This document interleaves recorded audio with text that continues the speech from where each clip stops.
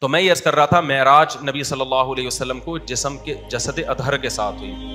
یہ اللہ کی طرف سے ایک معجزہ تھا۔ آپ صلی اللہ علیہ وسلم بیت المقدس میں گئے۔ معراج میں کیا کیا حکمتیں تھیں؟ سب سے بڑی حکمت یہ تھی کہ اللہ نے محمد صلی اللہ علیہ وسلم کو سب سے آخر میں بھیجا، لیکن بنایا سب سے افضل۔ تو پریکٹیکلی کچھ ایسے کام کروانے تھے تاکہ آپ کی پریکٹیکلی فضیلت، عملی دنیا میں آپ کی فضیلت تمام پیغمبروں پر ثابت ہو جائے۔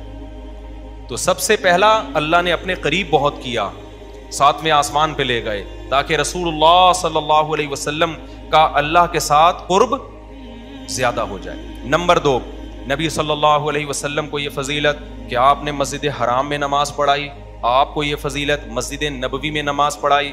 یہ دونوں بڑی عظیم مسجدیں ہیں، لیکن ایک اور اسلام میں بہت عظیم مسجد ہے، جہاں ہزاروں پیغمبر آئے، وہاں بہت سارے پیغمبروں کا کا قبلہ تھا وہ مسجد، جہاں موسا علیہ السلام آئے، جہاں عیسیٰ علیہ السلام آئے، ابراہیم علیہ السلام بھی گئے وہاں پہ، سلیمان علیہ السلام، داؤد علیہ السلام۔ تو یہ سارے پیغمبر تو اصل میں یہودیوں اور عیسائیوں کے نہیں ہیں، اصل میں یہ کس کے ہیں؟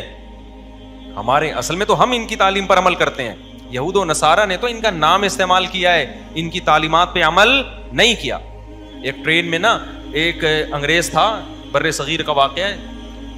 تو اس نے ایک مولوی صاحب کو دیکھا کہ تم نے داڑھی دیکھی، کہ تم نے کیسی صورت بنائی ہوئی انہوں نے کہا، جیسی جیسے تم ایسی بنائی، جیسے تمہارے پیغمبر عیسیٰ علیہ السلام جی کی تھی وہ بیچارہ لاجواب ہو گیا کہ یار، ہمارے پیغمبر کو فالو کون کرتا ہے؟ فالو تو یہ لوگ کر رہے ہیں۔ تو قرآن کہتا ہے ان نبی اولا بالمؤمنین من وہ قرآن کہتا ہے کہ، ان اول الناس ابراہیم للذین تبعوه وهذا النبی. ابراہیم کے قریب یہ نبی ہیں اور جو ان نبی کو فالو کر رہے ہیں۔ یہود و نصارہ دعویٰ کرتے ہیں، ہم ابراہیم علیہ السلام کو مانتے ہیں، وہ ہمارے پیغمبر ہیں۔ قرآن کہہ رہے اصل میں وہ کس کے پیغمبر ہیں؟ مسلمانوں کیونکہ ان کی تعلیمات کو کون فالو کر رہا ہے؟ مسلمان فالو کر رہے ہیں۔ کیونکہ ابراہیم شرک نہیں کرتے تھے، وہ کسی مخلوق کو اللہ کا بیٹا نہیں کہتے تھے۔ تو اب چونکہ وہ بیت المقدس بھی بہت عظیم مسجد ہے، نبی نے فرمایا، جس نے مسجد حرام میں نماز پڑھی ایک لاکھ نمازوں کا ثواب، مسجد اقسا میں نماز پڑھی پچاس ہزار نمازوں کا ثواب اور مسجد نبوی میں نماز پڑھی، ایک ہزار نمازوں کا ثواب۔ تو مسجد اقسا کی بڑی فضیلت ہے۔ وہاں بہت سارے پیغمبر مدفون ہیں، دفن ہے وہاں پہ۔ تو اللہ یہ چاہتے تھے کہ اپنے حبیب صلی اللہ علیہ وسلم کو اس فضیلت سے محروم نہ کریں۔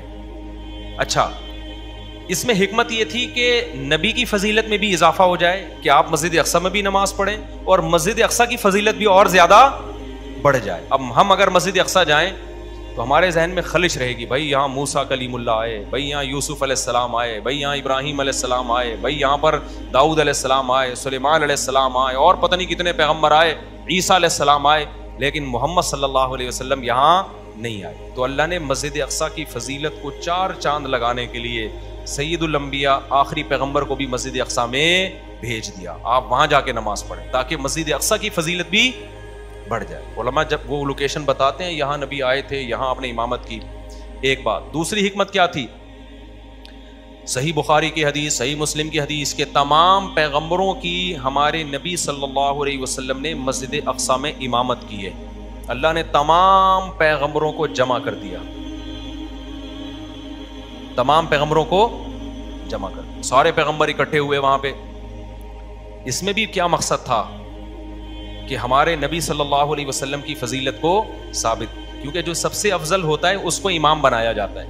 ایک عالم ایک علمی نقطے کی بات کرتے تھے کہ دیکھو، حدیث سے یہ بات ثابت ہے کہ سورہ فاتحہ صرف نبی پہ نازل ہوئی ہے۔ اس سے پتہ چلتا ہے کہ دوسرے پیغمبروں کو شاید سورہ فاتحہ نہ آتی ہو۔ تو جب ہمارے نبی نے نماز پڑھائی تو ان کے طریقے سے پڑھائی ہوگی یا اپنے طریقے سے؟ اپنے طریقے سے۔ تو فاتحہ نبی نے پڑھی، پیچھے سا۔ پیچھے جو پیغمبر تھے، وہ کیا تھے؟ خاموش تھے۔ اس کا مطلب بغیر فاتحہ کہ ان کی نماز ہو گئی کہ نہیں ہو گئی؟ کیونکہ انہوں نے تو صرف سنی ہے۔ تو یہ امام منیفا کا موقف ہے۔ امام فاتحہ پڑھے گا پبلک سنے گی تو نماز ہو جائے گی۔ لیکن یہ کوئی اتنی بڑی دلیل نہیں ہے کہ اس کو آپ مناظروں میں چیلنج کرنا شروع کر دیں۔ اصل دلائل ہمارے وہ حدیث ہے، من کان لہو امام فقراۃ الامام لہو قرا صحیح حدیث ہے، جس شخص کا کوئی امام ہے تو امام کی قراءت مقتدی کے لیے کافی ہے۔ دوسری صحیح مسلم کی حدیث ہے، امام کو امام بنایا جاتا ہے تاکہ اس کی اقتدا کی جائے۔ ادا کبر فکبر تکبیر کہے، تکبیر کہو۔ وہ ادا قرا فن ستو جب تلاوت شروع کرتے خاموش ہو جاؤ۔ وہ ادا قال ولین جب ظالین کہہ تو آمین کہہ دو۔ اس سے بھی پتہ چلتا ہے کہ امام اور، تو یہ دلائل ہمارے۔ خیر، ہم آگے چلتے ہیں۔ تو اللہ نے اپنے حبیب صلی اللہ علیہ وسلم کی امامت میں تمام پیغمبروں کو جمع کیا تاکہ عملی طور پر بھی رسول اللہ صلی اللہ علیہ وسلم کی فضیلت ثابت ہو جائے۔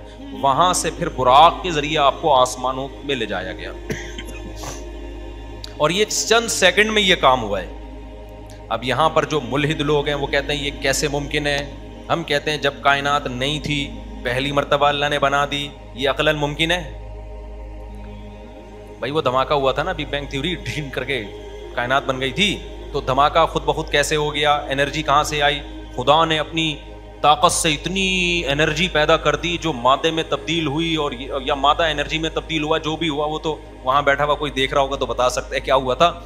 تو وہ جب بغیر سبب کے اتنی بڑی کائنات کو بنا سکتا ہے، اس کا مطلب وہ کچھ کرنے میں کسی سبب کا محتاج نہیں ہے۔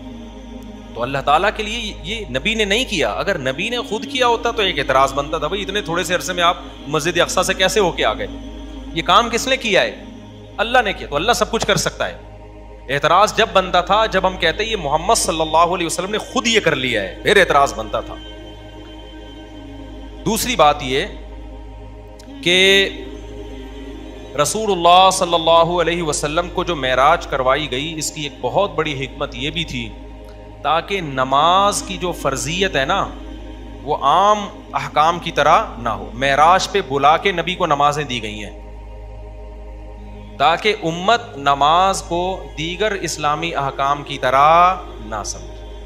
بھائی، آپ نے جب کسی کو گفٹ دینا ہوتا ہے، ایک طریقہ تو یہ ہے کہ آپ پوسٹ کر دیتے ہیں، اس کے گھر میں لیٹر آیا، کھولا تو پانچ روپے نکلے اس کے اندر سے۔ ٹھیک ہے نا؟ پچاس روپے کا نوٹ نکلا۔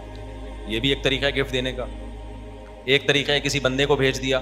ایک طریقہ آپ کہتے ہیں، یار، یہ تو میں یہ بڑا گفٹ آپ کو دینا چاہتا ہوں، یہ میں آپ کی دعوت کروں گا، آپ میرے گھر آئیں گے، کھانا کھائیں گے سیلفیاں لیں گے ہم دونوں مل جل کے، اس کے بعد یہ ڈبہ میری موجودگی میں کھلے گا گفٹ کا ڈبہ۔ آپ سمجھ جاؤ گے، بیٹا، کوئی چھوٹی چیز نہیں۔ ویسے ہی اگر گفٹ دینے کے لیے بھیج دے تو خالی ڈبا ہی بھیج دے وہ۔ جب گھر بلا کے دیا جائے گا، تو چھوٹی چیز گفٹ نہیں دی جاتی۔ تو اللہ نے اپنے حبیب صلی اللہ علیہ وسلم کو اپنے پاس بلا کے نمازوں کا تحفہ دیا اور کیسے دیا؟ پہلے پچاس نمازیں فرض کی دیکھو، اللہ نے کرنی پانچ ہی تھیں۔ لوگ کہتے ہیں اگر راستے میں موسا علیہ السلام سے ملاقات نہ ہوتی تو وہ تو پچاس ہو جاتی، ہم تو بڑھ جاتے۔ اللہ نے پچاس دینی نہیں تھی دینی کتنی تھی پانچ ہی دینی تھی لیکن ایک پروسیس کے تحت دینی تھی یہ بتانا تھا کہ میں چاہتا تو یہ تھا کہ تم ہر وقت نماز ہی پڑھا کرو۔ ٹھیک ہے نا؟ پچاس کا تو مطلب یہی ہوتا نا۔ لیکن مجھے پتا ہے تم یہ کر نہیں سکتے، تو چلو پانچ کر لو، ثواب کتنے کا مل جائے گا؟ پچاس کا مل جائے جیسے آدم علیہ السلام سے جو خطا ہوئی اور جنت سے نکلے، تو یہ تو پلاننگ تھی اللہ میاں کی پہلے سے، ٹھیک ہے نا؟ خطا نہ ہوتی تو جنت سے نہ نکلتے، جنت سے نہ نکلتے تو زمین پہ نہ آتے، زمین پہ نہ آتے، تو آزمائش کہاں سے ہوتی؟ تو پیدا تو کس کام کے لیے کیا تھا؟ آزمائش کے لیے۔ تو اللہ نے کہا، چلو شیطان کو تھوڑا سا ورگلانے دو، آدم کو خطا کرانے دو۔ اللہ کو پتا یہ تو توبہ کر کے ٹھیک ہو جائیں گے، لیکن اس بہانے یہ جنت سے نکلیں گے۔ پھر ان کی اولاد کو میں بتاؤں گا کہ گنا وہ چیز ہے جو آپ کو جنت سے نکالتا ہے۔ اور اگر گنا ہو جائے تو توبہ وہ چیز ہے تو دوبارہ جنت میں لے جاتا ہے۔ اور یہ سبق بھی ملے گا کہ شیطان نے بھی غلطی کی، آدم نے بھی غلطی کی۔ شیطان کو حکم دیا، سجدہ کر۔ شیطان نے کہا، نہیں، آدم کو حکم دیا، اس درخت کے قریب نہ جانا۔ آدم بھی چلے گئے۔ خطا دونوں سے ہو گئی نا؟ لیکن شیطان سے جب غلطی ہوئی، اللہ کو غصہ آیا، تو شیطان غصے کے جواب میں توبہ کرنے کے بجائے اور اکڑ گیا۔ اور کہنے لگا، موت تک زندگی دے، سب کچھ ہنم ملے کے جاؤں گا۔ اکڑا ہوا ہے اب تک۔ اور آدم کو جب پتا چلا اللہ کو غصہ آیا ہے، تو آدم نے کیا کہا؟ ربنا ظلمنا انفسنا۔ اے ہمارے رب، ہم سے اپنی جان پر ظلم ہو گیا۔ وہ علم تفل لنا وطر ہم نہ معاف کر دے، تو نے معاف نہیں کیا، برباد ہو جائیں گے۔ مچ تباہ رب اللہ کہتے ہیں، ایسی پسند آئی، توبہ۔ ہم نے آدم کو دوبارہ منتخب بنا دیا۔ تو ہم شیطان کی اولاد ہیں آدم کی؟ تو کام شیطان والے کرنے یا آدم والے؟ ہم کس کی اولاد ہیں؟ آدم کی۔ شیطان کی نہیں ہے۔ تو کس کے طریقے پہ ہم نے چلنا ہے؟ آدم کے۔ غلطی سے بچنا ہے۔ ہو جائے تو کیا کرنا ہے؟ گڑ گڑانا ہے اللہ کے ساتھ۔ اے اللہ، معاف کر دے۔ اے اللہ، معاف کر دے۔ اے اللہ، معاف کر دے۔ تو اللہ کہتے ہیں، سو بار گناہ کر کے، سو بار بھی توبہ کی۔ تو معاف، توبہ میں تاخیر ہو سکتی ہے۔ اللہ کی طرف سے معافی میں تاخیر نہیں ہوگی۔ تو یہ بھی حکمت تھی۔ خیر، تو اسی طرح جو رسول اللہ صلی اللہ علیہ وسلم جب معراج پہ گئے نا، تو اللہ نے جو پانچ فر، پچاس فرض کی تھی اللہ کو پتا تھا یہ نہیں پڑھیں گے پچاس نمازیں۔ نماز، شادیاں کس وقت کریں گے؟ پھر یہ اگر پچاس نمازیں پڑھیں گے۔ چار چار شادیاں بھی تو کروانی ہے نا۔ بچے بھی پلوانے ہیں ان سے۔ تو تو ہر وقت بابوزو رہیں گے، یہ تو پھر کیا خیال ہے؟ ان کا تو وضو ہی نہیں ٹوٹے گا کبھی۔ تو اللہ میاں نے موسا علیہ السلام کے دل میں ڈالا کہ یہ پچاس نمازیں لے کر آ رہے ہیں۔ نبی صلی اللہ علیہ وسلم، لیکن حضرت موسا کے دل میں اللہ نے ڈال دیا کہ کیا کرنا؟ اعتراض کرنا۔ حضرت موسا سے ملاقات ہوئی، کیا دیا گیا؟ آپ نے فرمایا کہ پچاس دی گئی ہیں۔ حضرت موسا نے کہا، میری امت پر تو اس سے کم نمازیں فرض ہوئی تھی وہ پوری نہیں کر سکے۔ آپ کی امت کیسے کرے گی؟ ہوتے ہوتے، کم کرتے کرتے کتنی ہو گئی پانچ نماز۔ تو حضرت موسا علیہ السلام سے اللہ کرے ہم سب کی ملاقات ہو، جنت میں ہم سب ان کو مبارکباد دیں گے۔ حضرت، آپ کا بہت بہت شکریہ۔ کیا خیال؟ تو لیکن حضرت موسا سے ایک دفعہ بات کر کے نا ہٹ جانا، کیونکہ بہت زیادہ جلالی پیغمبر ہیں۔ میں نے بتایا تھا نا، موت کا فرشتہ آیا انسانی شکل میں۔ حضرت موسا نے پوچھا، کیسے آنا ہوا؟ اس نے کہا، آپ کی روح قبض کرنے۔ حدیث ماتے ایک کھینچ کے تھپڑ لگایا، اس کی آنکھ نکل کے گر گئی باہر ٹھیک ہے۔ جلال بہت تھا۔ اپنے بھائی ہارون کی داڑھی پکڑ کے کھینچا تھا نا کہ یہ قوم کیا کر رہی ہے؟ تو خیر، تو یہ معراج میں بہت ساری حکمتیں تھیں، بہت ساری۔ پھر رسول اللہ صلی اللہ علیہ وسلم کے اس معجزے کو اللہ نے ثابت بھی کیا۔ مشرقین نے پوچھا کہ آپ کیسے دعویٰ کرتے ہیں؟ اگر آپ گئے ہیں تو بتائیں مسجد اقسا کیسی ہے؟ آپ صلی اللہ علیہ وسلم نے فرمایا کہ مجھے پورے طور پہ کیونکہ ایک دفعہ جب کوئی شخص ہو کے آتا ہے، اسے پورا تھوڑی یاد ہوتا ہے کہ کون سا ستون کدھر ہے اور کون سی جگہ کدھر ہے۔ لیکن مشرقین نے پروپیگنڈا کرنا شروع کر دیا۔ تو اللہ تعالیٰ نے اپنے حبیب صلی اللہ علیہ وسلم کے سامنے پورا نقشہ کر دیا بیت المقدس کا۔ اور آپ نے پوری ایک ایک چیز اس کی بتائی۔ پھر آپ نے ان قافلوں کا بھی بتایا جو راستے میں آ رہے ہیں۔ وہ قافلے جب پہنچے تو بالکل اس اس طریقے سے بتایا جس طریقے سے وہ قافلے سفر کر کے آئے ہیں۔ تو یہ اللہ تعالیٰ نے ایک معجزہ دکھایا اور اس میں حکمتیں کیا تھیں؟ یہ ثابت کرنا کہ یہ پیغمبر تمام پیغمبروں سے افضل ہے۔ یہ ثابت کرنا۔